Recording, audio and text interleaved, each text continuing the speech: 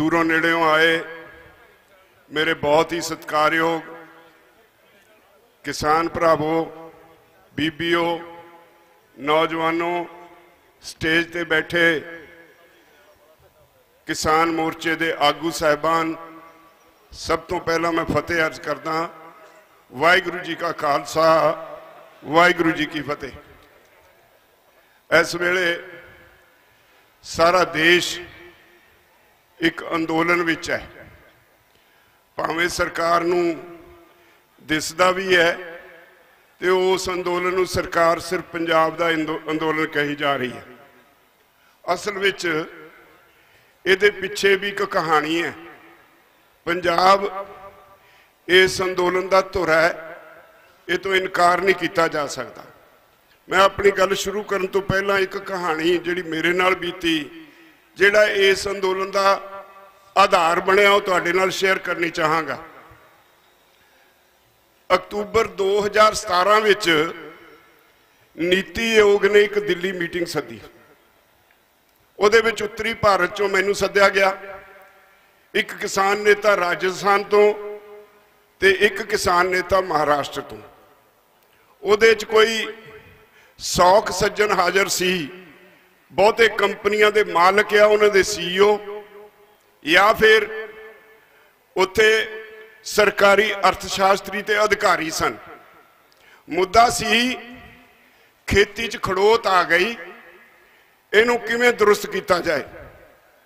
ਸਾਰਾ ਗਿਣੀ ਮਿਤੀ ਖੇਡ ਸੀ। ਸਭ ਤੋਂ ਪਹਿਲਾਂ ਇੱਕ ਸਰਕਾਰੀ ਅਰਥਸ਼ਾਸਤਰੀ ਉੱਠਿਆ। ਉਹਨੇ ਕਿਹਾ ਵੀ ਖੇਤੀ 'ਚ ਖੜੋਤ ਆ ਗਈ, ਇਹਦੀ ਖੜੋਤ ਤੋੜਨ ਲਈ ਇਨਵੈਸਟਮੈਂਟ ਚਾਹੀਦੀ ਹੈ, ਪੈਸਾ ਚਾਹੀਦਾ ਹੈ। ਕਿਸਾਨ ਦੇ ਕੋਲ ਕੁਝ ਨਹੀਂ। ਉਹ ਖੁਦਕੁਸ਼ੀਆਂ ਕਰ ਰਹੇ ਨੇ। ਇਸ ਲਈ ਬੇਨਤੀ ਕੀਤੀ ਜਾਵੇ, ਵੱਡੀਆਂ ਕੰਪਨੀਆਂ ਨੂੰ, ਕਾਰਪੋਰੇਟਸ ਨੂੰ, ਉਹ ਖੇਤੀ 'ਚ ਇਨਵੈਸਟਮੈਂਟ ਕਰਨ, ਪੈਸਾ ਲਾਉਣ। ਉਸ ਤੋਂ ਤੁਰੰਤ ਬਾਅਦ ਇੱਕ ਕੰਪਨੀ ਦਾ ਸੀਈਓ ਉੱਠਿਆ। ਮੈਂ ਜਿਸ ਤਰ੍ਹਾਂ ਪਹਿਲਾਂ ਕਿਹਾ ਗਿਣੀ ਮਿਤੀ ਖੇਡ ਸੀ। ਉਹਨੇ ਉੱਠਦਿਆਂ ਹੀ ਕਿਹਾ, ਅਸੀਂ ਪੈਸਾ ਲਾਉਣ ਲਈ ਤਿਆਰ ਹਾਂ। ਪਰ ਸਾਡੀਆਂ ਕੁਝ ਸ਼ਰਤਾਂ ਨੇ। ਸ਼ਰਤ ਕੀ ਹੈ? ਉਹ ਕਹਿੰਦਾ ਵੀ ਸਾਨੂੰ 5-5 7-7 ਹਜ਼ਾਰ ਏਕੜ ਦੇ ਜ਼ਮੀਨ ਦੇ ਕਲਸਟਰ ਬਣਾ ਕੇ ਦੇ ਦਿਓ। ਜਿਹਨੂੰ ਆਪਾਂ ਕਹਿੰਦੇ ਫਲਾਣੇ ਕੋਲ 20 20 ਕਿੱਲੇ ਦਾ ਟੱਕ ਹੈ, ਫਲਾਣੇ ਦਾ 10 ਕਿੱਲੇ ਦਾ ਟੱਕ ਹੈ। 5-5 7-7 ਹਜ਼ਾਰ ਏਕੜ ਦੇ ਕਲਸਟਰ ਬਣਾ ਕੇ ਦੇ ਦਿਓ। ਉਹਦਾ ਠੇਕਾ ਸਰਕਾਰ ਤੈਅ ਕਰ ਦੇ।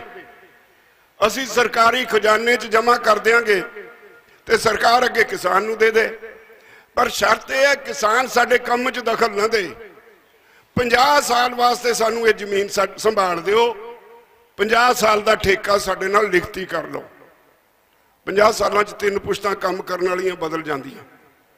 ਉਹ ਕਹਿੰਦੇ ਬਈ, ਸਾਡੇ ਜੇ ਖੇਤ ਵਿੱਚ ਕੰਮ ਕਰਨਾ ਹੈ ਕਿਸਾਨ ਨੇ, ਤਾਂ ਮਜ਼ਦੂਰ ਬਣ ਕੇ ਕੰਮ ਕਰੇ। ਮੀਟਿੰਗ ਚੱਲਦੀ ਰਹੀ, ਜਿਹੜਾ ਉੱਠੇ ਇਹੀ ਗੱਲ, ਜਿਹੜਾ ਉੱਠੇ ਇਹੀ ਗੱਲ। ਮੇਰੀ ਵਾਰੀ ਆਈ, ਨੰਬਰ ਕੱਟਤਾ, ਇਹਨਾਂ ਦੀ ਗੱਲ ਬਾਅਦ ਚ ਸੁਣਾਂਗੇ। ਰਾਮਪਾਲ ਜਾਟ ਦੀ ਵਾਰੀ ਆਈ, ਉਹਦੀ ਵੀ ਕਹਿੰਦੇ ਬਾਅਦ ਚ ਸੁਣਾਂਗੇ। ਵਿਜੇ ਜਵੰਦੀਆ ਦੀ ਵਾਰੀ ਆਈ, ਕਹਿੰਦੇ ਬਾਅਦ ਚ ਸੁਣਾਂਗੇ। ਅੱਧਾ ਘੰਟਾ ਮੀਟਿੰਗ ਖਤਮ ਹੋਣ ਚ ਰਹਿ ਗਿਆ। ਮੈਨੂੰ ਲੱਗਿਆ ਵੀ ਇਹ ਸਾਡੀ ਹਾਜ਼ਰੀ ਲਵਾ ਕੇ ਦੇਸ਼ ਨੂੰ ਇੱਕ ਸੁਨੇਹਾ ਦੇਣਾ ਚਾਹੁੰਦੇ ਨੇ ਵੀ ਕਿਸਾਨ ਲੀਡਰ ਸਾਡੇ ਵਿੱਚ ਸੀ। ਉਹਨਾਂ ਦੀ ਹਾਜ਼ਰੀ 'ਚ ਅਸੀਂ ਇਹ ਫੈਸਲਾ ਕੀਤਾ ਮੈਨੂੰ ਹੋਰ ਕੁਝ ਨਾ ਸੁਝਿਆ, ਮੈਂ ਉੱਠ ਕੇ ਇੱਕੋ ਦਰਵਾਜ਼ਾ ਸੀ ਬਾਹਰ ਨਿਕਲਣ ਲਈ। ਉਹਦੀ ਕੁੰਡੀ ਲਾ ਕੇ ਉੱਚੀ ਆਵਾਜ਼ 'ਚ ਚੇਅਰਮੈਨ ਨੂੰ ਕਿਹਾ ਵੀ, ਮਿਸਟਰ ਚੇਅਰਮੈਨ, ਮੇਰੇ ਵੱਲ ਧਿਆਨ ਦਿਓ। ਸਾਨੂੰ ਹਾਜ਼ਰੀ ਲਾਉਣ ਲਈ ਸੱਦਿਆ ਮੈਨੂੰ ਕਹੀ ਜੇ, ਨਹੀਂ ਨਹੀਂ ਆਪਕੀ ਬਾਤ ਸੁਣेंगे ਮੈਂ ਕਿਹਾ, ਅੱਧਾ ਘੰਟਾ ਰਹਿ ਗਿਆ, ਤਿੰਨ ਅਸੀਂ ਬੰਦੇ ਆ, ਕੀ ਸਾਡੀ ਗੱਲ ਸੁਣੇਗਾ? ਮੇਰੀ ਗੱਲ ਸੁਣ ਲੈ। ਮੈਂ ਕੁੰਡੀ ਲਾਤੀ ਜਿਹੜਾ ਤੂੰ ਸੁਨੇਹਾ ਦੇਣਾ ਚਾਹੁੰਦਾ, ਮੈਂ ਆਪਣੇ ਭਾਈਚਾਰੇ ਨੂੰ ਸੁਨੇਹਾ ਦੇਣਾ ਚਾਹੁੰਦਾ। ਤੁਹਾਡੇ 'ਚ ਹਿੰਮਤ ਹੈ, ਇਹ ਕੁੰਡੀ 'ਚ ਖੋਲ ਕੇ ਕੋਈ ਬਾਹਰ ਨਿਕਲ ਕੇ ਦਿਖਾਵੇ। ਤੁਸੀਂ 100 ਬੰਦਾ ਬੈਠੇ ਹੋ, ਮੈਨੂੰ ਕੁੱਟ ਕੇ ਤਾਂ ਨਿਕਲ ਜਾਓਗੇ। ਮੈਂ ਆਪਣੇ ਦੇਸ਼ ਵਾਸੀਆਂ ਨੂੰ, ਆਪਣੇ ਭਰਾਵਾਂ ਨੂੰ ਸੁਨੇਹਾ ਦੇਣਾ ਚਾਹੁੰਦਾ, ਤੁਹਾਡੀ ਨੀਅਤ ਕੀ ਹੈ? ਉਸ ਤੋਂ ਬਾਅਦ ਉਹੀ ਮੀਟਿੰਗ 2 ਘੰਟੇ ਹੋਰ ਚੱਲੀ। ਖੁੱਲਾ ਸਮਾਂ ਦਿੱਤਾ ਗਿਆ। ਮੇਰੀ ਬਾਰੀ ਆਈ, ਇੱਕ ਗੱਲ ਮੈਂ ਉੱਥੇ ਕਹਿ ਕੇ ਆਇਆ। ਮੈਂ ਕਿਹਾ ਵੀ ਪੰਜਾਬ ਦਾ ਜੱਟ, ਬਹੁਤ ਸਾਰੀਆਂ ਗੱਲਾਂ ਹੋਈਆਂ, ਪਰ ਇੱਕ ਗੱਲ ਜਿਨੇ ਉਹਨਾਂ ਤੇ ਅਸਰ ਕੀਤਾ। ਪੰਜਾਬ ਦਾ ਜੱਟ ਤੇ ਹਰਿਆਣੇ ਦਾ ਜਾਟ, ਇਹਦੀ ਕਲਚਰ ਇੱਕ ਹੈ। ਇਹਦਾ ਸੱਭਿਆਚਾਰ ਇੱਕ ਹੈ। ਸਾਡੇ ਘਰਾਂ ਵਿੱਚ, ਪਿੰਡਾਂ ਵਿੱਚ ਵੱਸਦੇ ਆ ਜੇ ਕੋਈ ਪਰਿਵਾਰ ਸਾਰੀ ਜ਼ਮੀਨ ਵੇਚ ਦੇ ਅਸੀਂ ਫੇਰ ਵੀ ਉਹਦੇ ਔਲਾਦ ਨੂੰ ਕਹਿੰਦੇ ਆ ਜ਼ਿਮੀਂਦਾਰ ਦੀ ਔਲਾਦ ਹੈ। ਜਦੋਂ ਅਸੀਂ ਧੀਆਂ ਪੁੱਤਾਂ ਦੇ ਰਿਸ਼ਤੇ ਕਰਦੇ ਆ ਤਾਂ ਪਹਿਲਾਂ ਪੁੱਛਦੇ ਆ ਮੁੰਡੇ ਨੂੰ ਜ਼ਮੀਨ ਕਿੰਨੀ ਆਉਂਦੀ ਹੈ। ਇਹਦਾ ਅਰਥ ਹੈ ਵੀ ਅਸੀਂ ਧਰਤੀ ਨਾਲ ਜੁੜੇ ਹੋਏ ਲੋਕ ਆ ਸਾਡੇ ਕੋਲੋਂ ਤੁਸੀਂ ਜ਼ਮੀਨ ਖੋ ਨਹੀਂ ਸਕਦੇ। ਜੇ ਇਹ ਜਿਹਾ ਗਲਤ ਕਦਮ ਚੁੱਕ ਲਿਆ, ਤਾਂ ਯਾਦ ਰੱਖਿਓ, ਪੰਜਾਬ ਔਰ ਹਰਿਆਣੇ ਦਾ ਹਰ ਜੱਟ, ਜਿਹਦੇ ਕੋਲ ਇੱਕ ਕਿੱਲਾ ਉਹ ਵੀ, ਜਿਹਦੇ ਕੋਲ 10 ਕਿੱਲੇ ਆ ਉਹ ਵੀ, ਮੋਢੇ ਤੇ ਗੰਡਾਸਾ ਹੋਏਗਾ। ਤੁਸੀਂ ਪੰਜਾਬ ਤੇ ਹਰਿਆਣੇ ਨੂੰ ਕੰਟਰੋਲ ਨਹੀਂ ਕਰ ਸਕੋਗੇ। ਇਸ ਗੱਲ ਦਾ ਉਹਨਾਂ ਤੇ ਅਸਰ ਹੋਇਆ 2 ਸਾਲ ਲੰਘ ਗਏ। ਪਰ ਜਿਸ ਤਰ੍ਹਾਂ ਮੇਰੇ ਸਾਰੇ ਸਾਥੀ ਕਹੀ ਜਾ ਰਹੇ ਸੀ, WTO ਦਾ ਦਬਾਅ ਸੀ, ਸਰਕਾਰ ਚੁੱਪ ਚਪੀਤੇ ਕੰਮ ਕਰਦੀ ਰਹੀ। ਦੂਜੇ ਪਾਸੇ ਮੈਂ ਵੀ ਸ਼ੱਕ ਹੋ ਗਿਆ ਚੁੱਪ ਚਪੀਤੇ ਕਾਗਜ਼ ਪੱਤਰ ਇਕੱਠੇ ਕਰਦਾ ਰਿਹਾ। ਮੇਰੇ ਧਿਆਨ 'ਚ ਜਿਹੜਾ ਕਮਿਸ਼ਨ ਤੁਹਾਡੇ ਭਾਮਿਤ ਦਾ ਉਹਦੀ ਇੱਕ ਰਿਪੋਰਟ ਹੱਥ ਲੱਗ ਗਈ। ਉਹਦੇ ਵਿੱਚੋਂ ਲਿਖਦਾ ਹੈ, ਭਈ ਸਰਕਾਰ ਨੂੰ ਆ ਕਣਕ ਝੋਨੇ ਦੀ ਖਰੀਦੋ ਫਰੋਖਤ ਚੋਂ ਨਿਕਲ ਜਾਣਾ ਚਾਹੀਦਾ ਫਿਰ 6 ਮਹੀਨੇ ਬਾਅਦ ਇੱਕ ਹੋਰ ਰਿਪੋਰਟ ਆਈ। ਉਹਨੇ ਕਿਹਾ 8.5% ਪੰਜਾਬ 'ਚ ਖਰਚਾ ਦੇਣਾ ਪੈਂਦਾ ਟੈਕਸਾਂ ਦਾ। ਹਰਿਆਣੇ 'ਚ 6.5% ਦੇਣਾ ਪੈਂਦਾ ਹੋਰ ਬਹੁਤ ਖਰਚੇ ਨੇ। ਸਰਕਾਰ ਦਾ ਕੰਮ ਵਪਾਰ ਕਰਨਾ ਨਹੀਂ ਹੁੰਦਾ। ਇਸ ਕਰਕੇ ਸਰਕਾਰ ਕਣਕ ਝੋਨੇ ਦੀ ਖਰੀਦ ਵਿੱਚੋਂ ਨਿਕਲੇ। ਇਹ ਕਾਰਪੋਰੇਟ ਹਾਊਸਿਸ ਦੇ ਹਵਾਲੇ ਕੀਤਾ ਜਾਏ। ਇੱਕ ਚਿੱਠੀ ਮੇਰੇ ਹੱਥ ਲੱਗ ਗਈ, ਪ੍ਰਧਾਨ ਮੰਤਰੀ ਦੇ ਦਫ਼ਤਰ ਦੀ। ਸੂਬਾ ਸਰਕਾਰਾਂ ਦੇ ਮੁੱਖ ਮੰਤਰੀਆਂ ਨੂੰ ਆਈ। ਉਹ ਚਿੱਠੀ 'ਚ ਲਿਖਿਆ ਸੀ, ਪੰਜਾਬ ਸਰਕਾਰ ਦੀ, ਪੰਜਾਬ ਦੇ ਮੁੱਖ ਮੰਤਰੀ ਨੂੰ ਵੀ ਆਈ।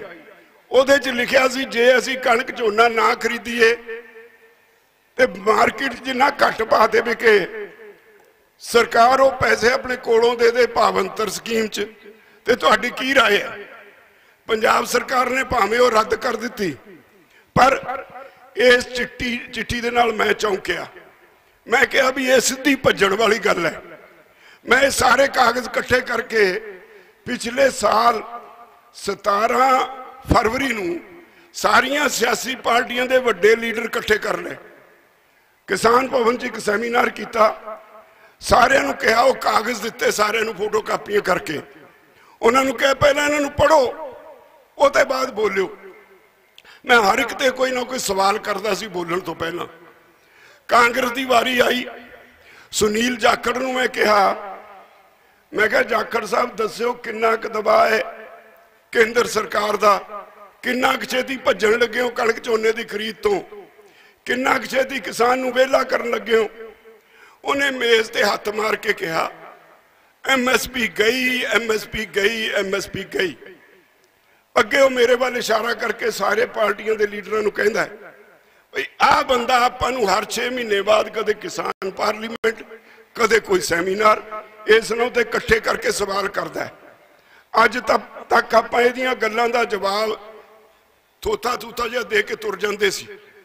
ਔਰ ਅਸੀਂ ਇੱਕ ਦੂਜੇ ਨੂੰ ਸਿਆਸੀ ਗਾਲਾਂ ਕੱਢੀ ਜਾਂਦੇ ਆ ਆ ਜਿਹੜੇ ਅੱਜ ਇਹਨੇ ਕਾਗਜ਼ ਦਿੱਤੇ ਐ ਇਹ ਮੰਗ ਕਰਦੇ ਆ ਅਸੀਂ ਗੰਭੀਰ ਹੋਈਏ। ਉਹਨੇ ਕਿਹਾ, ਜੇ ਅੱਜ ਵੀ ਗੰਭੀਰ ਹੋ ਕੇ, ਇਕੱਠੇ ਹੋ ਕੇ ਨਾ ਲੜੇ, ਤਾਂ ਪੰਜਾਬ ਨੂੰ ਕੋਈ ਬਚਾ ਨਹੀਂ ਸਕਦਾ।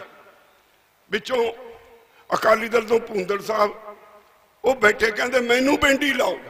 ਮੈਨੂੰ ਨਹੀਂ ਅੱਜ ਤਾਈਂ ਲੱਭੇ ਬੈਂਡੀ ਲੱਗਣ ਲਈ। ਮੈਨੂੰ ਕਹਿੰਦੇ, ਬੈਂਡੀ ਲਾਓ। ਸਾਰੀ ਚਰਚਾ ਹੋਈ। 24 ਫਰਵਰੀ ਨੂੰ ਮੈਂ ਚੰਡੀਗੜ੍ਹ 'ਚ ਇੱਕ ਰੈਲੀ ਰੱਖਦਾ। ਸਰਕਾਰ ਨੂੰ ਲੱਗਿਆ ਵੀ ਇੰਨਾ ਛੇਤੀ ਰੈਲੀ ਰੱਖੀ ਹੈ। ਕਿਹੜਾ ਕੱਟ ਹੋਣਾ ਮਨਜ਼ੂਰੀ ਦੇ ਦਿੱਤੀ। ਅਸੀਂ ਪਰੇਡ ਗਰਾਊਂਡ ਵਿੱਚ ਚੰਡੀਗੜ੍ਹ ਦੇ ਵਿੱਚ ਸਾਰਾ ਪ੍ਰਬੰਧ ਕਰ ਲਿਆ। ਜਦੋਂ ਪੰਜਾਬ ਚੋਂ ਬੱਸਾਂ ਭਰੀਆਂ ਹੋਈਆਂ, ਲੋਕਾਂ ਦੀਆਂ, ਕਿਸਾਨਾਂ ਦੀਆਂ ਜਾਣ ਲੱਗੀਆਂ 9 ਵਜੇ ਤੱਕ ਸਰਕਾਰ ਨੂੰ ਇਹ ਅੰਦਾਜ਼ਾ ਹੋ ਗਿਆ ਵੀ ਇਹ ਹੜ ਰੋਕਿਆ ਨਹੀਂ ਜਾਣਾ। 9:30 ਵਜੇ ਸਰਕਾਰ ਨੇ ਪਾਬੰਦੀ ਲਾਤੀ। ਇਹਦੇ ਬਾਵਜੂਦ ਸਾਰੇ ਚੰਡੀਗੜ੍ਹ ਦੇ ਆਲੇ ਦਾਲੇ 20-20 ਕਿਲੋਮੀਟਰ ਤੱਕ ਸੜਕਾਂ ਜਾਮ ਹੋ ਗਈਆਂ। ਚੰਡੀਗੜ੍ਹ ਮੋਹਾਲੀ ਦੇ ਚੌਂਕ ਜਾਮ ਹੋ ਗਏ, ਤੁਹਾਡੇ ਚੋਂ ਕਈ ਸੱਜਣ ਗਏ ਹੋਣੇ ਆ। ਤੇ ਬਹੁਤ ਸਾਰੇ ਕਿਸਾਨ 10 ਤੋਂ 15 ਕਿਲੋਮੀਟਰ ਪੈਦਲ ਤੁਰ ਕੇ ਪਰੇਡ ਗਰਾਊਂਡ 'ਚ ਪਹੁੰਚੇ। ਉਹ ਪਹਿਲਾ ਮੌਕਾ ਸੀ, ਜਦੋਂ ਇਸ ਲੜਾਈ ਦਾ ਬਿਗਲ ਵੱਜਿਆ। ਉਹਤੇ ਬਾਅਦ 5 ਜੂਨ ਤੋਂ ਆਰਡੀਨੈਂਸਾਂ ਦੀ ਸ਼ਕਲ 'ਚ ਕਾਨੂੰਨ ਆਏ। ਅਸੀਂ ਵਿਰੋਧ ਕੀਤਾ। ਇੱਕ ਤੁਹਾਡੀ ਸਾਰਿਆਂ ਦੀ ਮੰਗ ਹਮੇਸ਼ਾ ਰਹੀ ਬੱਲੇ ਬੱਲੇ ਕਿੰਨੀਆਂ ਜਥੇਬੰਦੀਆਂ ਨੇ। ਇਹ ਇਕੱਠੇ ਕਿਉਂ ਨਹੀਂ ਹੁੰਦੇ? ਮੈਂ ਆਪਣੇ ਨਾਲ ਸਾਥੀਆਂ ਨਾਲ ਗੱਲ ਕੀਤੀ। ਚਲੋ 100 ਮਤਭੇਦ ਹੋਣਗੇ। ਹੁਣ ਤਾਂ ਸਭ ਕੁਝ ਬਰਬਾਦ ਹੋਣ ਲੱਗਿਆ। ਆਪਾਂ ਅੱਜ ਵੀ ਇਕੱਠੇ ਨਹੀਂ ਹੋ ਸਕਦੇ। ਜੇ ਅੱਜ ਇਕੱਠੇ ਨਾ ਹੋਏ, ਬਰਬਾਦੀ ਤੋਂ ਬਾਅਦ ਇਕੱਠੇ ਹੋਇਓ ਨਾ ਹੋਇਓ, ਉਹਦਾ ਕੋਈ ਲਾਭ ਨਹੀਂ। ਸਾਰੇ ਨੇ ਮੇਰੀ ਗੱਲ ਮੰਨੀ, ਬਾਕੀ ਇੱਕ ਦੂਜੇ ਦੀ ਮੰਨੀ। ਅਸੀਂ ਇਕੱਠੇ ਹੋ ਗਏ। ਲੜਾਈ ਵਿੱਢ ਦਿੱਤੀ। ਅਸੀਂ ਰੇਲਵੇ ਲਾਈਨਾਂ ਤੇ ਬੈਠੇ। ਅਸੀਂ ਦਿੱਲੀ ਚਲੇ ਗਏ। ਅੱਜ ਮੋਰਚਾ ਦਿੱਲੀ 'ਚ ਪਖਿਆ ਹੋਇਆ ਇਹ ਮੋਰਚਾ ਤੁਸੀਂ ਪੰਜਾਬ ਵਾਲੇ ਜਿਨ੍ਹਾਂ ਨੇ ਮੁੱਢ ਤੋੜਿਆ ਬਾਅਦ 'ਚ ਹਰਿਆਣਾ ਆਇਆ, ਫਿਰ ਯੂਪੀ ਆਇਆ, ਫਿਰ ਉੱਤਰਾਖੰਡ ਆਇਆ, ਫਿਰ ਰਾਜਸਥਾਨ ਆਇਆ, ਫਿਰ ਸਾਰਾ ਦੇਸ਼ ਆਇਆ। ਮੋਢੀ ਤੁਸੀਂ ਸੀ। ਤੁਸੀਂ ਪੰਜਾਬ ਵਾਲਿਆਂ ਨੇ ਮੋਰਚੇ ਦੀ ਮੋਢੀ ਕੱਢ ਦਿੱਤੀ ਤੇ ਤੁਹਾਡਾ ਇੱਕ ਸੁਭਾਅ ਹੈ। ਮੈਨੂੰ ਇੱਕ ਬੀਜੇਪੀ ਦਾ ਲੀਡਰ ਸ਼ੁਰੂ ਸ਼ੁਰੂ 'ਚ ਮਿਲਿਆ। ਉਹ ਕਹਿੰਦਾ, ਮੈਂ ਇਹਨਾਂ ਨੂੰ ਕਿਹਾ ਵੀ ਪੰਜਾਬ 'ਚ ਜਿਹੜੇ ਲੋਕ ਵਸਦੇ ਨੇ ਇਹਨਾਂ ਦਾ ਇਤਿਹਾਸ ਪੜ੍ਹ ਲਓ। ਇਹ ਜੇ ਕਿਸੇ ਗੱਲ ਤੇ ਅੜ ਜਾਣ, ਇਹ ਪਿੱਛੇ ਨਹੀਂ ਮੁੜਦੇ ਹੁੰਦੇ ਕਿ ਬੇਵਕੂਫੀ ਨਾ ਕਰੋ, ਇਹਨਾਂ ਨਾਲ ਫੈਸਲਾ ਕਰ ਲਓ। ਪਰ ਸਰਕਾਰ ਨੂੰ ਲੱਗਦਾ ਸੀ ਵੀ ਇਹ ਪਤਾ ਨਹੀਂ ਐਵੇਂ 4 ਦਿਨ ਬਾਅਦ ਉੱਠ ਕੇ ਚਲੇ ਜਾਣਗੇ। ਅੱਜ ਸਰਕਾਰ ਫਸੀ ਹੈ। ਮੋਦੀ ਜੀ ਕਹੀ ਜਾਂਦੇ ਨੇ, ਦੇਖੋ ਜੀ, ਇਹਨਾਂ ਨੂੰ ਗਲਤ ਫਹਿਮੀ ਹੈ। ਬੜੇ ਦਿਨ ਰੌਲਾ ਪਾਇਆ। ਵੀ ਦੇਖੋ ਜੀ, ਮੈਂ ਤਾਂ ਬੜਾ ਭਲਾ ਕੀਤਾ। ਅਸੀਂ ਜਦੋਂ ਮੀਟਿੰਗ ਮੰਤਰੀਆਂ ਨਾਲ ਹੋਈ, ਅਸੀਂ ਉਹਨਾਂ ਨੂੰ ਪੁੱਛਿਆ ਜੀ, ਭਲਾ ਕੀ ਕੀ ਕੀਤਾ ਸਾਨੂੰ, ਉਹ ਤਾਂ ਦੱਸ ਦਿਓ। ਅਸੀਂ ਤਾਂ ਇਹੋ ਜਿਹਾ ਭਲਾ ਮੰਗਿਆ ਨਹੀਂ ਸੀ। ਤੇ ਤੁਸੀਂ ਤੁਹਾਨੂੰ ਕੀ ਬੁਖਾਰ ਚੜਿਆ ਸੀ ਸਾਡਾ ਭਲਾ ਕਰਨ ਦਾ? ਉਹ ਵਾਪਸ ਲੈ ਲਓ। ਫਿਰ ਦੂਜੀ ਗੱਲ ਕਹਿੰਦੇ ਜੀ, ਅਸੀਂ ਇੱਕ ਦੇਸ਼, ਇੱਕ ਮੰਡੀ ਬਣਾਤੀ। ਤੁਸੀਂ ਕਿਤੇ ਵੀ ਆਪਣੀ ਫਸਲ ਵੇਚ ਸਕਦੇ ਹੋ। ਹੁਣ ਮੇਰੇ ਵਰਗੇ ਬੰਦੇ ਨੂੰ, ਜਿਹਨੇ ਆਪਣੇ ਪਿੰਡੇ ਤੇ ਹੰਡਾਇਆ ਜੋਨ ਤੋੜੂ ਮੋਰਚਾ। ਉਹਨੂੰ ਤਾਂ ਮੂਰਖ ਬਣਾ ਨਹੀਂ ਸਕਦੇ। ਇੱਥੇ ਸਰ ਅਵਤਾਰ ਸਿੰਘ ਹੁੰਦੇ ਸੀ ਕੌਂਕੇ ਤੋਂ। ਸਬੱਦੀ ਤੋਂ ਸਰ ਗੁਰਚਰਨ ਸਿੰਘ ਹੁੰਦੇ ਸੀ ਚੜਾਈ ਕਰ ਗਏ ਹਰਭਜਨ ਸਿੰਘ ਜੰਡੀ ਸੀਗੇ। ਅਸੀਂ ਸਾਰੇ ਇਕੱਠੇ ਸੀ। ਅਸੀਂ ਜੋਨ ਤੋੜੂ ਮੋਰਚਾ ਲਾਇਆ ਸੀ 1974 ਚ। ਜਿਹਦੇ ਚ 1450 ਕਿਸਾਨਾਂ ਨੇ ਜੇਲ੍ਹ ਯਾਤਰਾ ਕੀਤੀ। ਪੰਜਾਬ ਦੇ ਕਿਸਾਨਾਂ ਨੂੰ ਇਜਾਜ਼ਤ ਨਹੀਂ ਸੀ। ਪੰਜਾਬ ਦਾ ਬਾਰਡਰ ਕ੍ਰਾਸ ਕਰਕੇ ਆਪਣੀ ਫਸਲ ਵੇਚਣ ਦੀ। ਅਸੀਂ 5 ਕਿਲੋ ਕਣਕ ਸਿਰ ਤੇ ਰੱਖ ਕੇ ਹਿਮਾਚਲ ਵੱਲੋਂ ਰੋਪੜ ਤੋਂ ਅੱਗੇ ਅਸੀਂ ਜਾਂਦੇ ਸੀ। ਸਾਡੇ ਤੇ ਕਣਕ ਦੀ ਸਮਗਲਿੰਗ ਦਾ ਕੇਸ ਬਣਦਾ ਸੀ ਤੇ 40 ਦਿਨ ਸਾਨੂੰ ਉਹਦੇ ਵਿੱਚ ਕੈਦ ਹੋ ਜਾਂਦੀ ਸੀ। ਕੈਦ ਕੱਟ ਕੇ ਆਏ। ਉਹਨਾਂ ਦਿਨਾਂ ਵਿੱਚ ਜਸਟਿਸ ਕੁਲਦੀਪ ਸਿੰਘ, ਇਹ ਇੰਗਲੈਂਡ ਤੋਂ ਪੜ ਕੇ ਆਏ, ਵਕਾਲਤ ਪੜ ਕੇ ਆਏ। ਅਸੀਂ ਇਹਨਾਂ ਨੂੰ ਵਕੀਲ ਕਰਕੇ ਹਾਈ ਕੋਰਟ 'ਚ ਇੱਕ ਰਿਟ ਪਾਤੀ। ਉਸ ਰਿਟ ਦਾ ਫੈਸਲਾ ਅਕਤੂਬਰ 1976 'ਚ ਸਾਡੇ ਹੱਕ 'ਚ ਆ ਗਿਆ। ਹਾਈ ਕੋਰਟ ਨੇ ਕਿਹਾ ਕਿਸਾਨ ਜਿਹੜਾ ਮਿੱਟੀ 'ਚ ਮਿੱਟੀ ਹੋ ਕੇ ਪੈਦਾ ਕਰਦਾ ਹੈ, ਉਹਨੂੰ ਕਿਸੇ ਨੂੰ ਅਧਿਕਾਰ ਨਹੀਂ, ਉਹਨੂੰ ਰੋਕਣ ਦਾ ਉਹ ਆਪਣੀ ਫਸਲ ਜਦੋਂ ਚਾਹੇ, ਜਿੱਥੇ ਚਾਹੇ, ਜਿੰਨੀ ਚਾਹੇ, ਕਿਤੇ ਵੀ ਸਾਰੇ ਦੇਸ਼ 'ਚ ਲਿਜਾ ਕੇ ਵੇਚ ਸਕਦਾ ਇਹਨੂੰ ਤੁਸੀਂ ਸਟਾਕਿਸਟ ਵੀ ਨਹੀਂ ਕਹਿ ਸਕਦੇ। ਜ਼ੋਨ ਟੁੱਟ ਗਏ। 1977 ਚ ਜਨਤਾ ਪਾਰਟੀ ਦੀ ਸਰਕਾਰ ਆਈ। ਇੱਥੋਂ sir Jagdev Singh Talwandi member parliament ਸੀ। ਪਹਿਲੇ ਹੀ ਸੈਸ਼ਨ ਵਿੱਚ ਮਤਾ ਪਾਸ ਹੋਇਆ ਕਿ ਸਾਰੇ ਦੇਸ਼ ਦਾ ਇੱਕ ਜ਼ੋਨ ਹੋਊ। ਤਲਵੰਡੀ ਸਾਹਿਬ ਸਾਨੂੰ ਵਧਾਈਆਂ ਦੇਈ ਜਾਣ। ਯੂਨੀਅਨ ਵਾਲੇ ਤੁਹਾਨੂੰ ਵਧਾਈ ਤੇ ਤੁਹਾਡਾ ਮੋਰਚਾ ਫਤਿਹ ਹੋ ਗਿਆ। ਤੇ ਮੈਂ ਮੋਦੀ ਸਾਹਿਬ ਨੂੰ ਪੁੱਛਿਆ ਵੀ ਸਾਨੂੰ ਦੱਸਿਓ ਕਿਹੜੀ ਪਾਬੰਦੀ ਸੀ ਸਾਡੇ ਤੇ? ਕਿਹੜਾ ਕਾਨੂੰਨ ਹੈ ਜਿਹਦੇ ਨਾਲ ਅਸੀਂ ਆਪਣੀ ਫਸਲ ਪੰਜਾਬ ਤੋਂ ਬਾਹਰ ਨਹੀਂ ਸੀ ਲਿਜਾ ਸਕਦੇ? ਕੋਈ ਕਾਨੂੰਨ ਨਹੀਂ। ਤੁਸੀਂ ਕਿਹੜਾ ਨਵਾਂ ਕੰਮ ਕੀਤਾ? ਹਾਂ, ਇਹ ਜ਼ਰੂਰ ਕੀਤਾ ਹੈ ਵੀ ਆਹ ਮੰਡੀ ਤਬਾਹ ਹੋ ਜਾਏ, ਜਿਹੜਾ ਦੁਨੀਆ ਦਾ ਬਿਹਤਰੀਨ ਮਾਰਕੀਟਿੰਗ ਸਿਸਟਮ ਹੈ ਪੰਜਾਬ ਔਰ ਹਰਿਆਣੇ 'ਚ, ਇਹ ਟੁੱਟ ਜਾਏ ਤੇ ਇੱਥੇ ਕਾਰਪੋਰੇਟ ਹਾਊਸਸ ਆਪਣੀਆਂ ਪ੍ਰਾਈਵੇਟ ਮੰਡੀਆਂ ਬਣਾ ਲੈਣ ਔਰ ਲੋਕਾਂ ਨੂੰ ਲੁੱਟਣ ਹੌਲੀ ਹੌਲੀ ਅਮਰੀਕਾ ਵਾਂਗ ਸਾਰੀਆਂ ਜ਼ਮੀਨਾਂ ਉਹਨਾਂ ਦੇ ਹੱਥ 'ਚ ਆ ਜਾਣ। ਮੈਂ ਮੰਤਰੀਆਂ ਨੂੰ ਸਵਾਲ ਕੀਤਾ ਸੀ ਭਈ ਦੁਨੀਆ ਦਾ ਫੇਲ ਹੋਇਆ ਮਾਡਲ ਤੁਸੀਂ ਸਾਡੇ ਤੇ ਲਾਗੂ ਕਿਉਂ ਕਰਦੇ ਹੋ? ਅਮਰੀਕਾ ਵਿੱਚ ਵੱਡੀਆਂ ਕੰਪਨੀਆਂ ਕੋਲ 80% ਜ਼ਮੀਨ ਚਲੀ ਗਈ।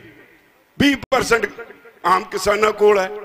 ਤੇ ਉਹੀ ਮਾਡਲ ਜਿਹੜਾ ਉੱਥੇ ਫੇਲ ਹੋ ਗਿਆ, ਉੱਥੇ ਵਾਲਮਾਰਟ ਨੇ ਕੀ ਸਵਾਰਤਾ ਕਿਸਾਨਾਂ ਦਾ? ਬੁਰੀ ਤਰ੍ਹਾਂ ਫੇਲ ਹੋਇਆ ਮਾਡਲ ਹੈ ਸਾਡੇ ਤੇ ਲਾਗੂ ਨਾ